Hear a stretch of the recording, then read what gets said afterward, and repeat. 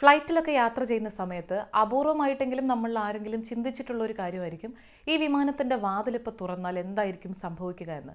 എന്നാൽ അതിന്റെ ശാസ്ത്രീയ വശങ്ങളൊന്നും അറിഞ്ഞിട്ടല്ലെങ്കിൽ പോലും അതുമൂലം ഉണ്ടാകാവുന്ന ഭവിഷ്യത്തോർത്ത് നമ്മൾ ആരും ഇന്ന് വരെ അതിന് മുതിർന്നിട്ടുമില്ല. സ്വാഭാവികമായും ആരും അങ്ങനെ ചെയ്യില്ല എങ്കിലും ഈ കഴിഞ്ഞ ദിവസം ദുബായിലേക്ക് വന്ന ഒരു വിമാനത്തിലെ യാത്രക്കാരൻ ആ വിമാനത്തിന്റെ വാതിൽ തുറന്ന് ഇരുപതടി താഴേക്ക് ചാടി. കാനഡയിൽ നിന്ന് ദുബായിലേക്ക് വന്ന വിമാനത്തിലാണ് ഈ സംഭവം ഉണ്ടായത്. കാനഡയിലെ ടൊറന്റോ പിയേഴ്സൺ ഇന്റർനാഷണൽ എയർപോർട്ടിൽ നിന്ന് ദുബായിലേക്ക് പുറപ്പെട്ട എയർ കാനഡയുടെ A C zero five six എന്ന വിമാനം ടേക്ക് ഓഫ് ചെയ്ത് അല്പമായപ്പോഴേക്കും ഏകദേശം ഇരുപതടി ഉയരത്തിലെത്തിയ സമയത്താണ് യാത്രക്കാരൻ വാതിൽ തുറന്ന് താഴേക്ക് ചാടിയത്.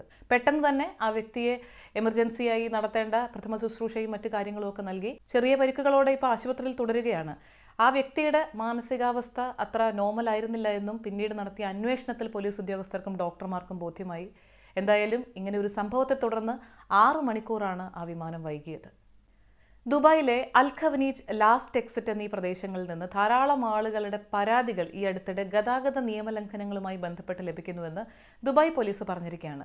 ദുബായ് പോലീസ് റിപ്പോർട്ടും ഇന്ന് പുറത്തുവിട്ടിരിക്കുന്നു. ഇതനുസരിച്ച് ഈ പ്രദേശത്ത് നിന്ന് അഞ്ഞൂറോളം ഗതാഗത നിയമലംഘനങ്ങളാണ് ഈ അടുത്തിടെ റിപ്പോർട്ട് ചെയ്തിരിക്കുന്നത്. അതുമാത്രമല്ല നൂറ്റി ഇരുപത്തിയൊന്ന് വാഹനങ്ങൾ ഗുരുതരമായ നിയമലംഘനങ്ങൾ നടത്തിയതിനെ തുടർന്ന് പിടിച്ചെടുക്കുകയും ചെയ്തിട്ടുണ്ട്. അൽഖവനീജിലെ താമസക്കാരുടെയും ലാസ്റ്റ് എക്സിറ്റിലൊക്കെ വരുന്ന സന്ദർശകരുടെയും ഒക്കെ പരാതിയെ തുടർന്ന് ഈ ബൈക്ക് സ്റ്റണ്ട് നടത്തുകയും അപകടകരമായ രീതിയിൽ കാർ ഓടിക്കുകയും ഒക്കെ ചെയ്തതിനെ തുടർന്ന് കാറുകളും ബൈക്കുകളും ഒക്കെ കസ്റ്റഡിയിലെടുത്തിട്ടുണ്ട് എൺപത്തിയൊന്ന് കാറുകളും നാൽപ്പത് മോട്ടോർ ബൈക്കുകളും. അപ്പോൾ ഈ സാഹചര്യത്തിൽ ഈ കഴിഞ്ഞ ജൂലൈ മാസത്തിൽ ദുബായിൽ പ്രാബല്യത്തിൽ വന്ന ഒരു നിയമത്തെക്കുറിച്ച് കൂടി പോലീസ് ഓർമ്മിപ്പിച്ചിരിക്കുകയാണ്. ഈ പറഞ്ഞ രീതിയിൽ ജീവനും സ്വത്തിനും അപകടകരമാവുന്ന രീതിയിൽ സാഹസികമായി വാഹനങ്ങൾ ഓടിച്ച് അത് പോലീസ് പിടിച്ചെടുത്തു കഴിഞ്ഞാൽ തിരിച്ചെടുക്കണമെങ്കിൽ അൻപതിനായിരം ദർഹമാണ് ഫൈൻ അടക്കേണ്ടി വരിക.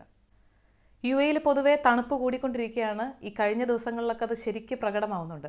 ഔദ്യോഗികമായ തണുപ്പ് കാലം ആരംഭിച്ചുവെന്ന് ഡിസംബർ ഇരുപത്തിയൊന്നാം തീയതി കാലാവസ്ഥാ കേന്ദ്രം അറിയിപ്പ് നൽകിയിരുന്നു. എങ്കിലും വളരെ ശക്തമായ തണുപ്പ് അനുഭവപ്പെടുന്നത് ഈ കഴിഞ്ഞ രണ്ട് മൂന്ന് ദിവസങ്ങളിലായിട്ടാണ്. അപ്പോൾ കാലാവസ്ഥാ കേന്ദ്രവും ഔദ്യോഗികമായി അതിനെ സ്ഥിരീകരിച്ചു കഴിഞ്ഞു. ഈ സീസണിലെ ഏറ്റവും തണുപ്പ് നിറഞ്ഞ ദിവസങ്ങളിലൂടെയാണ് നമ്മളിപ്പോൾ കടന്നുപോയിക്കൊണ്ടിരിക്കുന്നത്. അലൈനിൽ രേഖപ്പെടുത്തിയ താപനില അഞ്ച് ദശാംശം മൂന്ന് ഡിഗ്രി സെൽഷ്യസ് ആണ് റെക്ന ഏരിയയിൽ. റാസൽ ഖൈമയിലെ ജബൽ ജെയ്സിലും ഒട്ടും മോശമല്ല. ഏഴ് ദശാംശം രണ്ട് ഡിഗ്രി സെൽഷ്യസ് രേഖപ്പെടുത്തിയിരിക്കുന്നു. എന്തായാലും ഈ ഒരു സാഹചര്യത്തിൽ വിനോദസഞ്ചാര മേഖല ഉണർന്നു പ്രവർത്തിക്കുകയാണ്. ഗവൺമെന്റിന്റെ ഭാഗത്തു നിന്നും ആഭ്യന്തര ടൂറിസം പ്രോത്സാഹിപ്പിക്കാനും കൂടുതൽ വിനോദസഞ്ചാരികളെ ആകർഷിക്കാനും ഒക്കെ വേണ്ടി ഒട്ടനവധി പരിപാടികൾ ഇപ്പോൾ നടക്കുകയാണ്. ലോകത്തിലെ ഏറ്റവും മികച്ച ശൈത്യകാലം എന്നുള്ള ശീർഷകത്തോടു കൂടി ഒരു ക്യാമ്പയിൻ ആരംഭിച്ചു കഴിഞ്ഞു.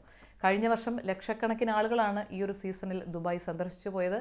എന്തായാലും ഈ വർഷവും യു എയിൽ കഴിഞ്ഞ വർഷത്തേക്കാൾ കൂടുതൽ സന്ദർശകരെയാണ് പ്രതീക്ഷിക്കുന്നത്.